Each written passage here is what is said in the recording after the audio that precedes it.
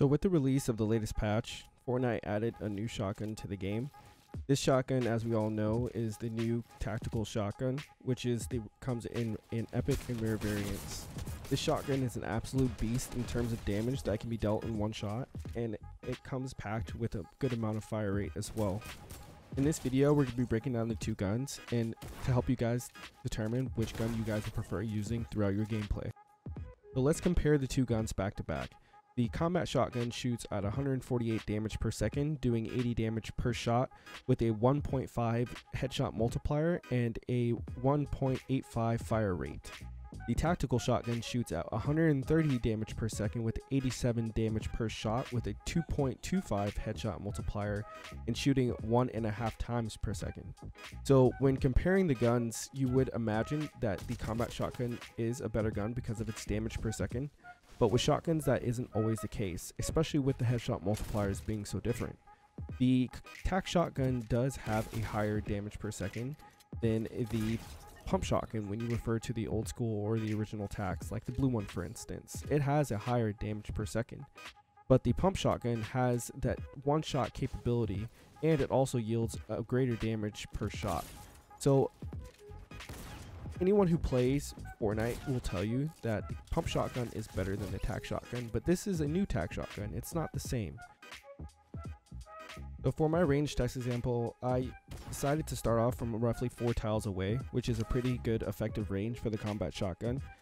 And as you can see, the combat is hitting for more damage at range with the headshots, yielding 55, 50 to 55 damage per shot, and the, com and the tac doing a consistent 18 damage in the head. Now from 3 tiles away, you'll see that the combat still hits for a very good amount of damage, which is 85. But because its multiplier was reduced, the tac shotgun now hits for pretty close to the same damage. Now for this example, uh, around 2 tiles away, I couldn't seem to get the headshot to go off, but you'll see that the tac or the combat still hit for 116. Now from 1 tile away, you'll see that it hits for max damage, and the tac shotgun actually hits for more damage when you get 1 tile away.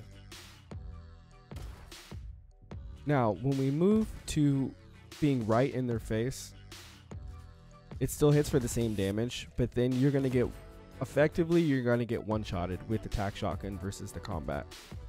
That's going to be one of the big differences between the two guns. It's going to really come down to playstyle. As you can see, the two guns pull out at roughly the same exact speed. When I do this test right here, you'll see that I'm able to pull out my gun and fire and then at roughly the same exact speed, you'll be able to see that the combat pulls out at the same exact speed.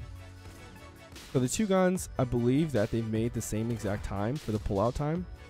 So in that respect, the two are even testing. So I hope you guys enjoyed the video. And in terms of which gun I would prefer, I honestly think the two guns are fairly even.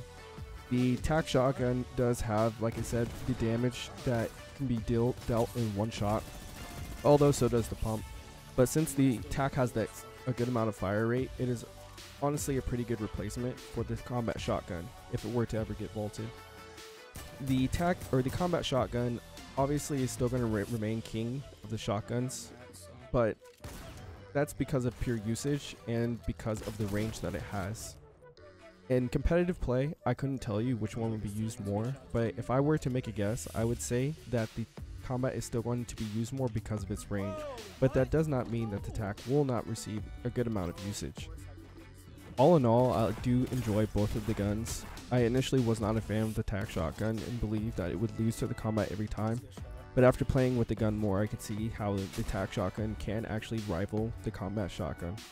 Let me know what you guys think about the video, leave a comment down below, and if you found this information helpful, don't forget to like and subscribe, and I will see you guys in the next one.